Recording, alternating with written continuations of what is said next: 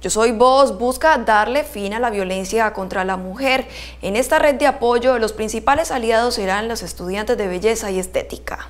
Liderado por la gobernadora del Valle, Dilian Francisca Toro, en articulación con la Secretaría de Mujer, Equidad de Género y Diversidad Sexual, Luzariana Londoño, se ejecuta la estrategia Yo Soy Voz, con el propósito de erradicar las distintas formas de violencia contra la mujer. Yo Soy Voz es una campaña que estamos lanzando en el día de hoy aquí en el municipio de Tuluá, que trata eh, de vincular a las diferentes eh, personas que conforman el sector de la belleza, la estética y todas esas personas que están trabajando permanentemente en contacto con las mujeres para que sean conocedores y replicadores de información en relación con las rutas de atención y denuncia y sobre todo la identificación y la prevención de la violencia basada en género.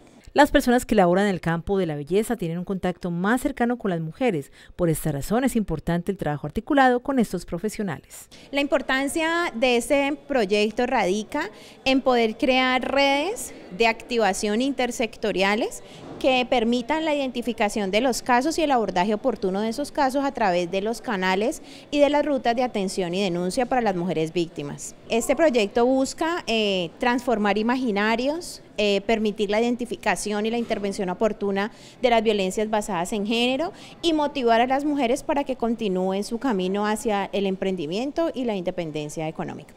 Las capacitaciones empezaron el lunes 29 de julio y finalizarán el próximo miércoles 31. Los escenarios de la estrategia Yo Soy Voz son Buga, Tuluá, Palmira, Candelaria, Cali y Jamundí. Todas las mujeres que hagan parte y personas en general que hagan parte de este sector de belleza están invitados a participar de estas actividades. Pueden buscar la, información acerca de dónde se realizarán en las fanpage de la Secretaría de Mujer, Equidad de Género y Diversidad Sexual. Tener el Departamento del Valle del Cauca libre de violencia contra la mujer es el principal objetivo de la gobernación del Valle.